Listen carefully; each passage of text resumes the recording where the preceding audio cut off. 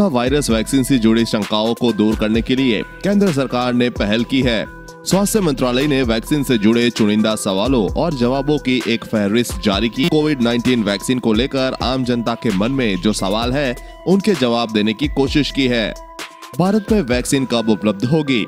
कौन सी वैक्सीन चुनी जाएगी? सबको लगेगी या कुछ को ही लगेगी? क्या वैक्सीन अनिवार्य होगी? वैक्सीन सेफ़ है या नहीं? जैसे कुछ सवाल है जिनके जवाब स्वास्थ्य मंत्रालय ने देने की कोशिश की है। आइए जानते हैं वैक्सीन से जुड़े हुए अहम सवाल और स्वास्थ्य मंत्रालय के जवाब। कोविड वैक्सीन जल्द आएगी या नहीं? स्वास्थ्य मंत्रालय का जवाब हाँ वैक्सीन ट्रायल्स अंतिम चरण में है। भारत सरकार कोविड 19 के लिए वैक्सीन लॉन्च करने को तैयार है। क्या सबको एक साथ वैक्सीन दी जाएगी? स्वास्थ्य मंत्रालय का जवाब, वैक्सीन की उपलब्धता के आधार पर भारत सरकार ने प्रायोरिटी ग्रुप्स चुने हैं। उन्हें वैक्सीन पहले मिलेगी क्योंकि उन्हें ज़्यादा खतरा है। पहले ग्रुप में हेल्थ केयर और फ्रंटलाइन वर्कर्स शामिल है। दूसरे ग्रुप में 50 साल से ज़्यादा उम्र वाले लोग और कोमोर्बिड कंडीशंस वाले 50 साल से कम उम्र के लोग होंगे। वैक्सीन की कितनी डोज कब और कब लेनी है? स्वास्थ्य मंत्रालय का जवाब, वैक्सीन की दो डोज होगी 28 दिन के अंतराल पर लगेगी। एंटीबॉडीज कब डेवलप होगी? स्वास्थ्य मंत्रालय का जवाब। आमतौर पर वैक्सीन की दूसरी डोज मिलने के दो सप्ताह बाद एंटीबॉडीज का पर्याप्त लेवल डेवलप होता है। भारत में जो वैक्सीन आएगी, वह दूसरे देशों से कितनी असरदार होगी? स्वास्थ्य मंत्रालय का जवाब हाँ भारत में आने वाली वैक्सीन दूसरे देशों जितनी ही असरदार होगी। क्या वैक्सीन लेना अनिवार्य है? स्वास्थ्य मंत्रालय का जवाब कोविड 19 का टीकाकरण ऐच्छिक होगा।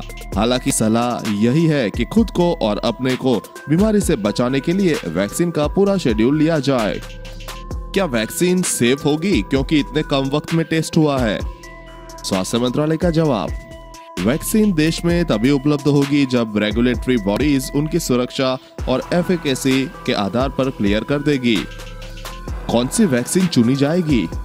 स्वास्थ्य मंत्रालय का जवाब वैक्सीन कैंडिडेट्स के क्लिनिकल ट्रायल्स के डेटा को ड्रग रेगुलेटर जाँच रहे हैं। जिस भी टीके को लाइसेंस मिलेगा, वह अपेक्षाकृत सुरक्षित और असरदार होगी। हालाँकि यह सुनिश्चित किया जाना चाहिए कि एक ही वैक्सीन का पूरा शेड्यूल पूरा किया जाए। अलग अलग वैक्सीन नहीं लगाई जा सकती। मुझे कैसे पता चलेगा कि मैं टीकाकरण के योग्य हूँ? स्वास्थ्य मंत्रालय का जवाब। शुरुआती चरण में हेल्थ केयर और फ्रंटलाइन वर्कर्स को वैक्सीन मिलेगी। वैक्सीन की उपलब्धता के आधार पर 50 प्लस वाले एज ग्रुप को टीका भी शुरू में ले सकता है। योग्य लाभार्थियों को उनके रजिस्टर्ड मोबाइल नंबर पर उस हेल्थ फैसिलिटी की जानकारी दी जाएगी जहाँ टीका लगना है। समय की सूचना भी फ़ोन पर मिलेगी। क्या बिना रजिस्ट्रेशन के वैक्सीन मिल सकती है? स्वास्थ्य मंत्रालय का जवाब, नहीं। कोविड 19 टीके के लिए रजिस्ट्रेशन अनिवार्य है। उसके बाद ही टीकाकरण की जगह और समय बताया जाएगा। लाभार्थी को टीकाकरण की जानकारी कैसे मिलेगी? स्वास्थ्य मंत्रालय का जवाब। ऑनलाइन रजिस्ट्रेशन के बाद लाभार्थी के मोबाइल नंबर पर एसएमएस भेजकर टीकाकरण केंद्र और समय की जानकारी दे दी जाएगी। टीकाकरण पूरा होने पर भी अपडेट मिलेगी। स्वास्थ्य मंत्रालय का जवाब हाँ कोविड का टीकाकरण शेड्यूल पूरा होने के बाद रजिस्टर्ड नंबर पर एसएमएस जाएगा। वैक्सीन की सभी डोज पूरी होने के बाद एक क्यूआर आधारित सर्टिफिकेट भी रजिस्टर्ड नंबर पर भेजा जाएगा। वैक्सीन के लिए रजिस्ट्रेशन हेतु कौन से दस्तावेज़ मान्य? स्वास्थ्य मंत्रालय का जवाब, रजिस्ट्रेशन के वक्त इनमें से कोई एक आईडी दे सकते हैं। Driving licence, health insurance smart card, MNREGA card, सांसदों, विधायकों, विधान परिषद सदस्यों के पहचान पत्र PAN card, bank, post office की पासबुक, पासपोर्ट, पेंशन दस्तावेज़, सरकारी कर्मचारियों के service I card, voter ID टीका लगने से पहले आईडी दिखाना ज़रूरी है। स्वास्थ्य मंत्रालय का जवाब, रजिस्ट्रेशन के वक्त जिस आईडी का इस्तेमाल किया गया होगा, टीकाकरण से पहले वेरिफिकेशन के लिए वही आईडी दिखानी होगी। अगर आईडी नहीं दिखा पाए तो स्वास्थ्य मंत्रालय का जवाब। फ़ोटो आईडी लाभार्थी के रजिस्ट्रेशन और सत्यापन के लिए अनिवार्य है, ताकि यह सुनिश्चित हो सके कि टीका सही व्यक्ति को लगा है। टीकाकरण केंद्र पर क्या करना होगा? स्वास्थ्य मंत्रालय का जवाब। टीका लगने के बाद कम से कम आधे घंटे तक केंद्र पर रहे।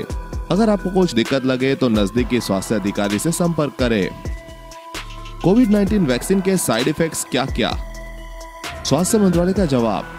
वैक्सीन तभी दी जाएगी जब उसकी सुरक्षा साबित हो चुकी होगी। कुछ लोगों में हल्का बुखार, दर्द जैसी दिक्कतें हो सकती है। राज्यों को कोविड वैक्सीन से जुड़े साइड इफेक्ट्स के लिए तैयारी करने को कह दिया गया है। क्या कोविड मरीजों को वैक्सीन दी जाएगी? स्वास्थ्य मंत्रालय का जवाब, कंफर्म या संदिग्ध कोविड केस टीकाकरण केंद्र पर संक्रमण फैला सकते हैं।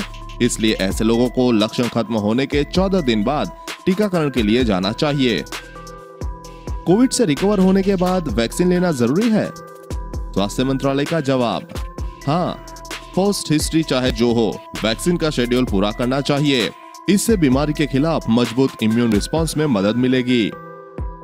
भारत के पास प्लस टू से प्लस एट डिग्री में वैक्सीन स्टोर करने की क्षमता है? स्वास्थ्य मंत्रालय का जवाब, भारत दुनिया के सबसे बड़े टीकाकरण कार्यक्रमों में से एक चलाता है।